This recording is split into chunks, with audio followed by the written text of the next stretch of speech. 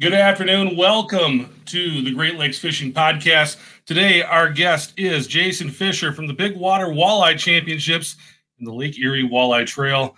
Jason, thanks for joining the show. I appreciate you having me on. Jason, first of all, what is the Big Water Walleye Championships? Big Water Walleye Championships um, is a tournament series here on Lake Erie. Uh, we're primarily in Ohio, and we work from west to east and then and then back to the west. Uh, we follow the walleyes around. We've got a series uh, this year, uh, so far scheduled nine events, and we got a big following with uh, walleye guys here on Lake Erie, and uh, the competition's fierce. Competition is fierce.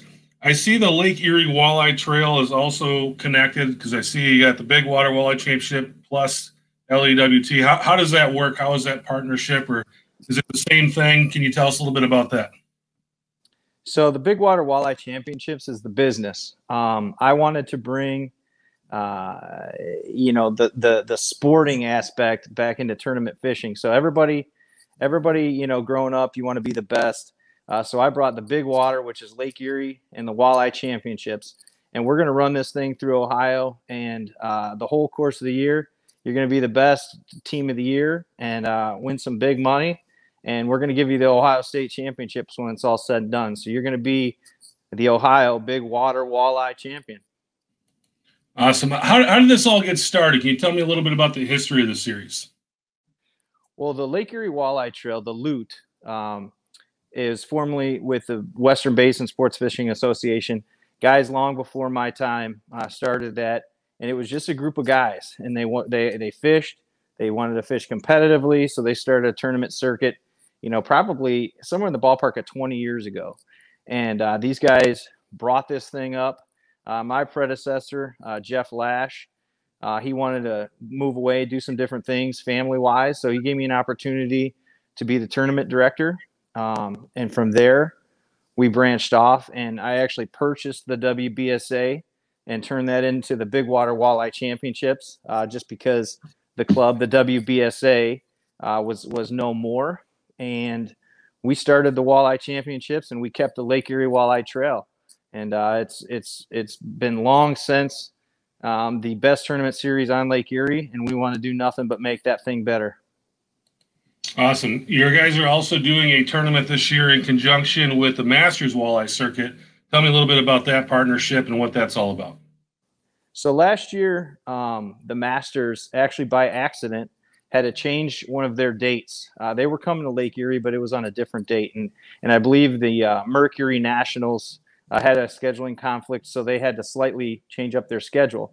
Well, they coincidentally fell on one of the dates that we had. Well, our anglers, we've got full 60 boat schedule, and our anglers um, were kind of like, hey man, how am I going to fish both these tournaments?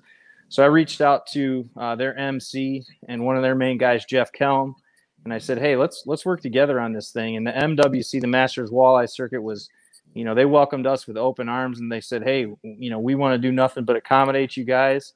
And we ran it two tournaments in one, and uh, all the anglers loved it. I mean, we had a, about 106 boat field, and we ran it out of Lorain, and it was a huge success. So this year, we just said, "Hey, let's let's do the same thing again." They loved it, we loved it it was a great time, huge money on the line with two tournaments. Anglers can fish both of them, and uh, if they want, or they could just fish one, and they can come in. All the sponsors love it because there's there's huge amounts of crowds and boats and uh, anglers, you know, seeing all the different products. So it's nothing but good for the for the Lake Erie area. This year we're out of Port Clinton. Awesome. Tell me a little bit about the full schedule. You've got eight events plus that other event. Uh, if you can go through kind of that full schedule for us.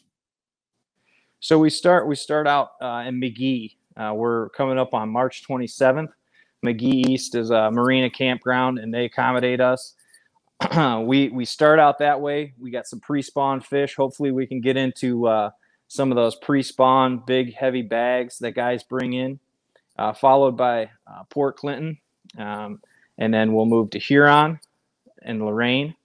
And then as the summer progresses, we work our way out to Ashtabula uh, the ARU campground with the Vic Sports Center open. Uh, from there, we'll go to Geneva with the uh, Geneva on the Lake, the GOTL um, DB Marine event. So we hold uh, two, Ashtabula and Geneva. We hold kind of two separate events in one. Um, our team event, which is two anglers uh, per boat, those guys accumulate team of the year points.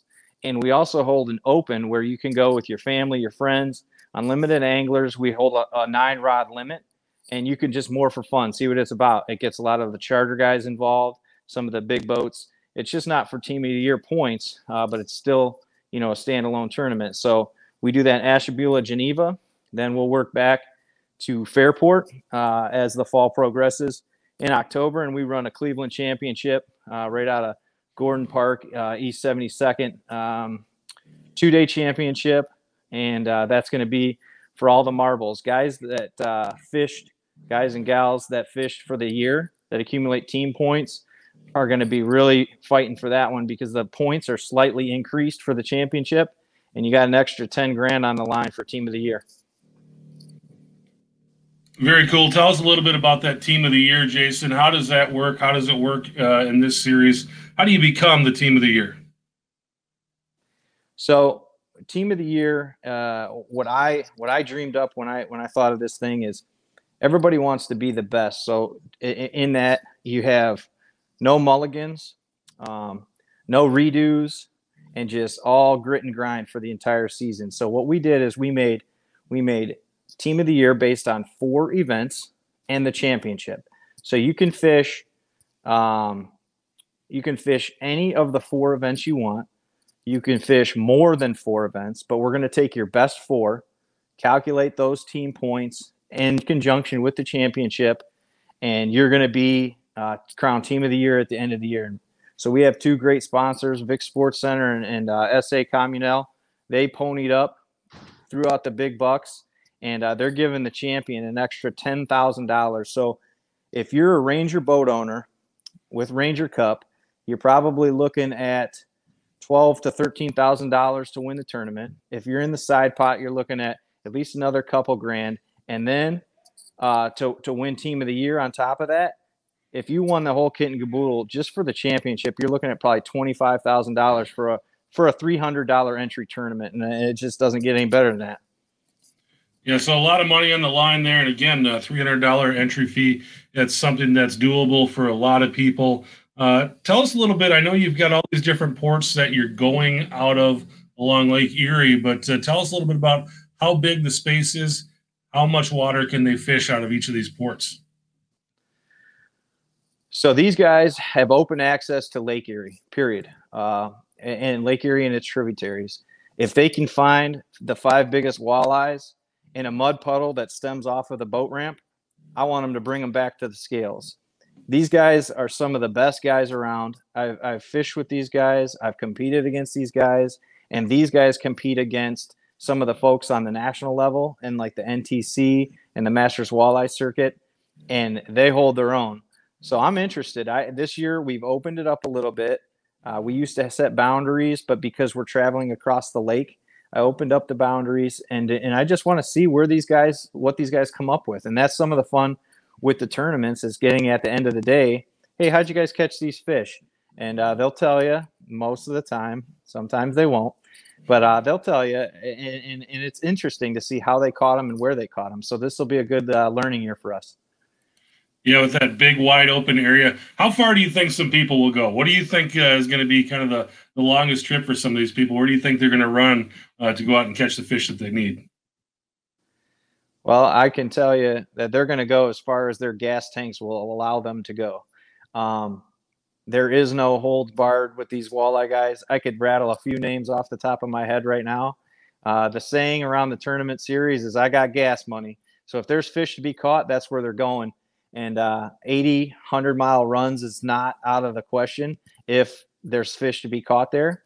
But weather plays a big factor, um, time plays a big factor. And of course, you know, just being able to safely do that plays a big factor. So, you know, most of these guys are in, you know, serious seaworthy tournament rigs and they they let it loose on tournament day. Yeah, Lake Erie is one of those bodies of water where trolling is the name of the game in a lot of places. But you guys, you talked about a little bit earlier, you're also going to have a, a, kind of a, a, casting and jigging type of tournament as well. just something different to make guys kind of stick to, to that type of fishing. What went into coming up with an event like that? So a good buddy of mine uh, used to do a jigging event every year, and this year he wasn't for just for a few different reasons. And it's a whole new, uh, I guess, breed of angler. You get a totally different group of guys. Some sometimes, you know, us trolling guys. I grew up trolling on Lake Erie. Uh, one of my best friends, he grew up jigging on Lake Erie. So you got two totally different guys. I, you know, I'd like to say that uh, you know, I go out and paddle my buddy every day, but when we put a jigging rod in his hand, he shows me a lot. So I just like to see that you get you get a whole new group of people, and you know you get a lot of different place winners, and it just makes it fun. Put the trolling rods away. Uh, jigging on Lake Erie in April's probably some of the best jigging you can do in the entire world. So let put the casting, the spinning tackle in these guys' hands. Let them cast and jig and see what they come up with. Very cool, Jason. Uh, there's a lot of established teams participating in in these events, but uh, what are you seeing so far as far as new teams coming into the series? I'm seeing a lot of new teams. So one thing we did this year is we advertised slightly more than what we had in the past. Um, we see teams uh, from Michigan, Illinois, Indiana, Ohio, Pennsylvania. Uh, I know we got some guys coming up from from Tennessee. Last year, I know we saw North Dakota, some guys that were in fishing the fall brawl, fish some of our late events. Uh, so you're always seeing new teams, and, and, you know, especially our local guys.